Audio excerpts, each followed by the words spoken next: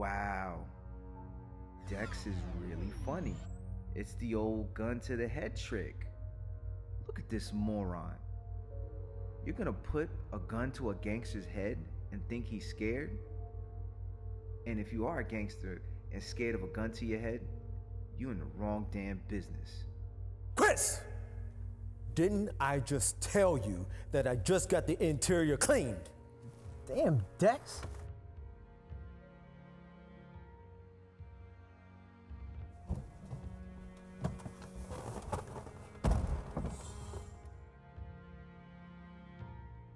So we a go? Yeah, we go. We have to do this now? I mean, like, right, right now? Oh, so I guess you don't want that fat bonus on delivery.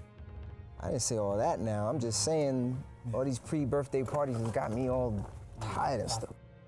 Now, the boss wants this cut and dry. Absolutely no wet works. We retrieve and we bounce, all right?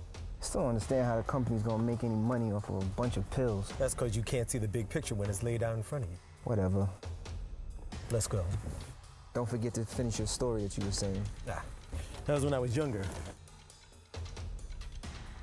Yeah, hold on. Yeah, yeah, this. Oh, she was 24. Bad, too. Dominican chick? So what happened? Well, you know what happens when you're young, dumb, and full of cum. Oof, she had a brother's nose wide open. I was on full leak. Is this where the elevator is? Oh, it's right this way.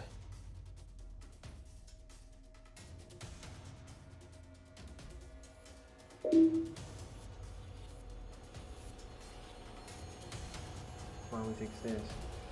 Because I don't feel like taking no damn stairs. Why? It's just one level. I don't care if it's one fucking step. Unless we're in a town called Bedrock and we have no other choice but to take the stairs, we taking the elevator.